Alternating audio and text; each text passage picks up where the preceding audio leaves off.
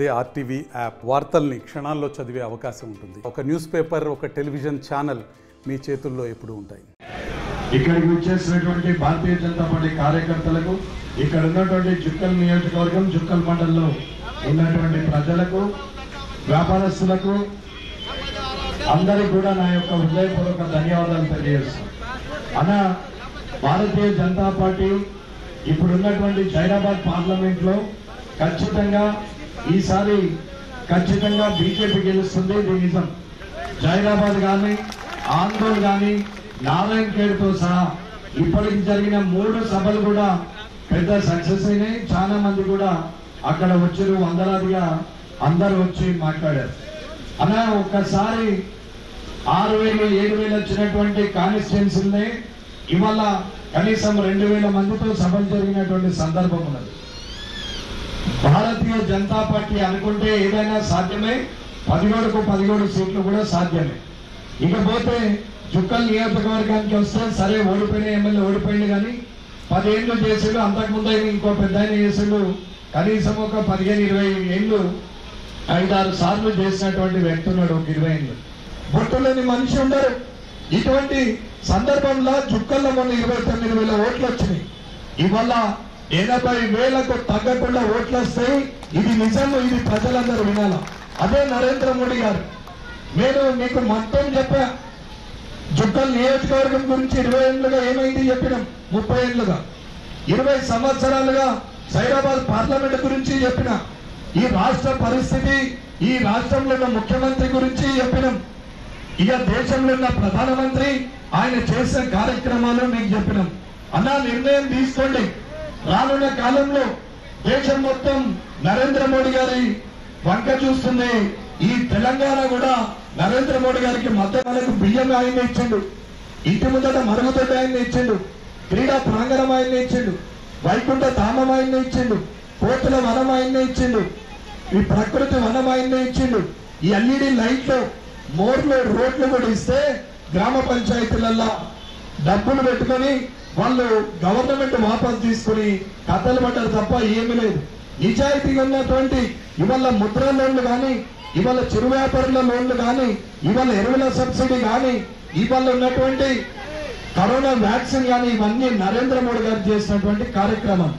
అలా జుక్కల్లో హిందూ భావజాలం బాగా ఉంది. కాళేశ్వరము కుంగేశ్వరం అని చెప్పి కాళేశ్వరం గురించి మాట్లాడతారు. అది తప్ప మరి అందులో నీళ్ళు నింపొచ్చా? నింపితే బ్రిడ్జ్ ఉంటుందా? లేకపోతే కూలిపోతుందా? సుబ్బలం సంగతి ఏంది? మేడిగడ్డ సంగతి ఏమది? అన్నారం సంగతి ఏమది?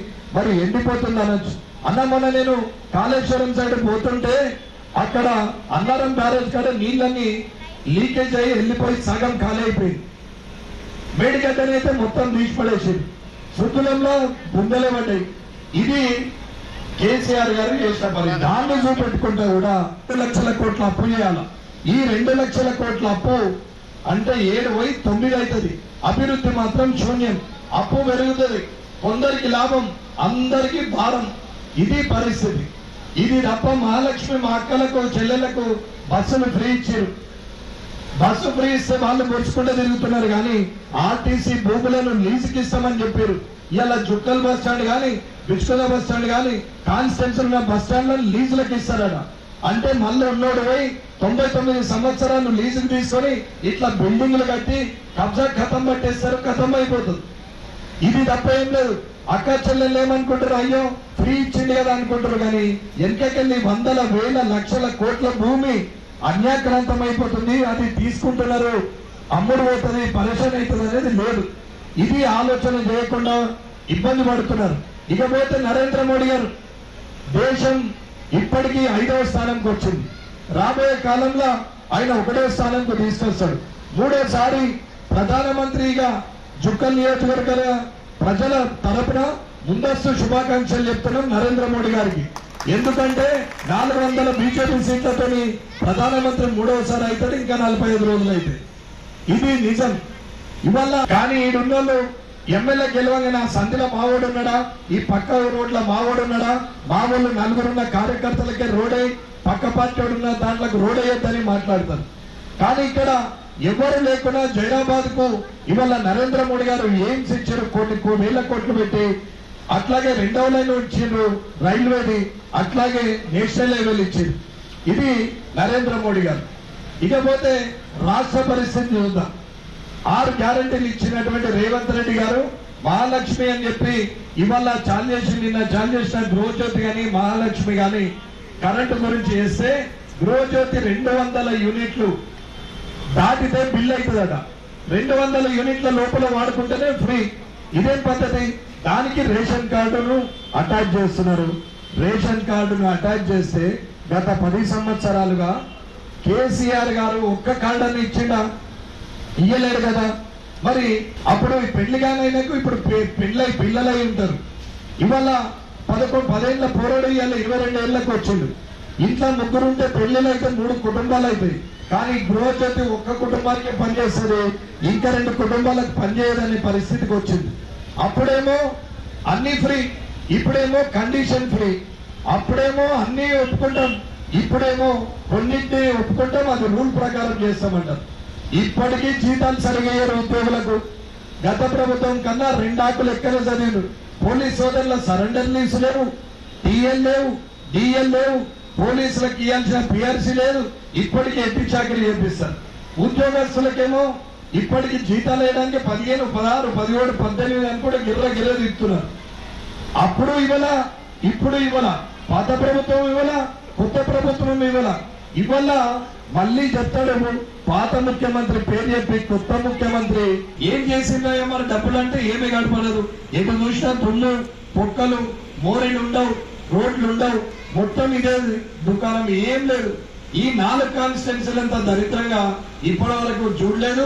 ఇన్ని కాన్స్టిట్యున్సీలు పోయిన మా అంటే ఒక సికింద్రాబాద్ హైదరాబాద్ పార్లమెంట్ తప్ప అన్ని పార్లమెంట్లు తిరిగినాం ఇన్ని రోజుల నుంచి చూస్తుంటే ఎంతో బాధ అనిపిస్తుంది నాలుగు కాన్స్టిట్యూన్సీలను చూస్తే. అమ్మా ఇవాళకి కూడా చెప్తున్నాం. ఒక ఓటేసే ముందర ఆలోచించుకొని నిర్ణయం తీసుకోవాలా? ప్రజలు ఖచ్చితంగా ప్రశ్నించే ఆలోచనలో ఉంటే అధికారి గాని నాయకుడు గాని భయపడతాడు. నేను మీకు తెలుసు ఎందుకంటే ఎమ్మెల్యే కాబట్టి. అంతే తప్ప తేడా ఏం లేదు. అప్పుడు కిందున్నాం ఇప్పుడు మీదున్నాం. కానీ కిందున్నా మీదున్నా గుణం మాత్రం ఒకటే ఉండాలా రాజకీయ నాయకులది? అది మాత్రం తప్పిపోయి ఓటు వేసుకున్న తర్వాత ఇక వాళ్ళ లోక లోకంలో వాళ్ళు ఉంటే ప్రజలు ఇలాగే ఓ పట్టనట్టు ఊరుకుంటే పిల్లారిందా పొద్దు కింద అనుకుంటే సమస్య ఇలాగే ఉంటదన్నా ఇది నిజంగానే చెప్తున్నా మనస్ఫూర్తిగా చెప్తున్నా. అన్న ఎక్కడైతే ఓటుది ఓటు కోసం వచ్చారో అక్కడ ఖచ్చితంగా పని కోసం మాట్లాడాల్సిన ప్రజలు ఉన్నప్పుడే అది అభివృద్ధి చెందుతుందని చెప్తున్నాం. అది నేనైనా సరే వేరే వాళ్ళైనా సరే అది పార్టీలకు అతీతంగా చెప్తున్నాం. ఇకపోతే ఇప్పటిదాకా జరిగిన అభివృద్ధి ఏముంది ఇక ముందు జరిగేది ఏముందని చూడొచ్చు. ఇది నియోజకవర్గం. ఇక జైరాబాద్ పార్లమెంట్కి వచ్చి చూస్తే షెట్కార్ గారు రెండు మూడు సార్లు రెండు సార్లు చేశారు. అంతకుముందు చేశారు. మళ్ళీ ఇప్పుడు మొన్న జైరాబాద్ నియోజకవర్గం ఏర్పడిన నుంచి ఇప్పుడున్న ఎంపీ పది పది సంవత్సరాలు ఉన్నాడు. అంతకుముందు షెట్కార్ ఉన్నారు.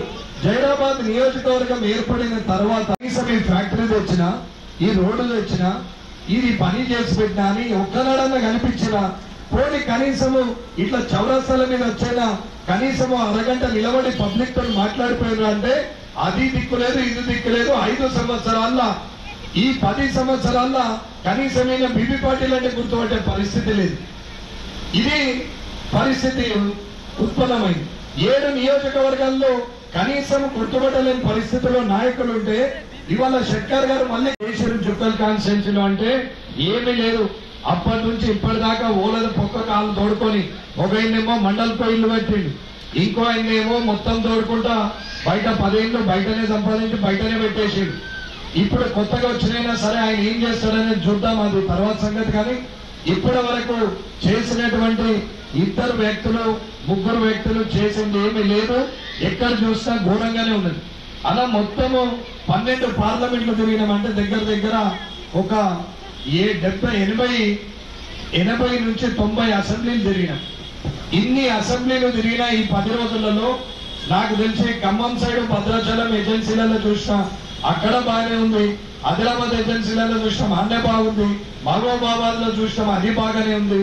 అలాగే పెద్దపల్లి పోతే అది బాగానే ఉంది గద్వాల పోయినా బాగానే ఉంది నాగర్ కర్నూలు పోయినా బాగానే ఉంది. కానీ అక్కడ నాగర్ కర్నూలు పార్లమెంట్ ఒక కొల్లాపూర్ ఇక మన దగ్గరకు వచ్చి చూస్తే నారాయణ ఖేడు ఆందోళన జుక్కలు.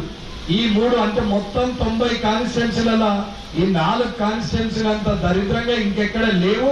అసలు ఇంత వెనుకబడి ఉండడం కారణమైందనేది అర్థం కాలేదు. అందరూ ఎమ్మెల్యేలే. ఒకవేళ తెలియదు సన్నాసి ఎమ్మెల్యే ఉన్నాడు అనుకుందాం సన్నాసులనే గెలిపించుకుందాం అనుకుందాం. ఈ సన్నాసుల తర్వాత విషయం వేరు కానీ అక్కడ ఎక్కడైతే గెలిచినటువంటి మిగతా ఎమ్మెల్యేలు అదే పార్టీలో ఉన్న వాళ్ళు గతంలో ఉన్న వాళ్ళు ఉన్నారు కదా మా అంటే పది శాతము ఇరవై శాతం ఏం చేసిందా మరి డబ్బులు అంటే ఏమీ గడపలేదు. ఎటు చూసినా దుమ్ము పొక్కలు మోరెలు ఉండవు రోడ్లు ఉండవు. మొత్తం ఇదే దుకాణం ఏం లేదు. ఈ నాలుగు కాన్స్టిట్యున్సీలు అంత దరిద్రంగా ఇప్పటి వరకు చూడలేదు. ఇన్ని కాన్స్టిట్యున్సీలు పోయిన మా అంటే ఒక సికింద్రాబాద్ హైదరాబాద్ పార్లమెంట్ తప్ప అన్ని పార్లమెంట్లు జరిగినాయి ఇన్ని రోజుల నుంచి చూస్తుంటే ఎంతో బాధ అనిపిస్తుంది ఈ నాలుగు కాన్స్టిట్యున్సీలను చూస్తే. అమ్మా ఇవాళకి కూడా చెప్తున్నాం. ఒక ఓటేసే ముందర ఆలోచించుకొని నిర్ణయం తీసుకోవాలా?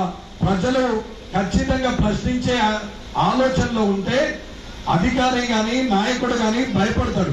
కార్యకర్తలు అనుకుంటే జుక్కలో పెద్ద లెక్కనా? అన్నా ఇవాళ ఎవరికి కూడా నీకు ఎన్నో సార్లు చెప్పిన టీవీలో టీవీలో ముఖంగా చెప్పినా పత్రికా ముఖంగా చెప్పినా ఇప్పుడు డైరెక్ట్గా పబ్లిక్ చెప్తున్నా. అలా మీ చుట్టాలుంటే పోయి కనుక్కోండి. ఒకనాడు కింద ఖర్చు పెట్టినా మందు దాయిపించిందా పెట్రోల్ పైసలు ఇచ్చిందా లేకపోతే ఏమన్నా అన్నం పెట్టిందా ఏం చేసిందని అడగండి. అన్న ఐదు సంవత్సరాలు పనిచేస్తే ప్రజలు మన దిక్కుంటారు. ఐదు సంవత్సరాల కష్టాలతో ప్రజలు ఎంతనే ఉంటే ఐదు సంవత్సరాల నుంచి మాకు పని చేస్తున్నాడు ఎవడేమి ఇచ్చినా ఎవడొచ్చినా మేము ఈయనకే ఓటేస్తామని గ్రామాలలో కార్యకర్తను చూసి ఓటేస్తారు. లీడర్లను కాదు ఇది గమనించాల బీజేపీ కార్యకర్తలు.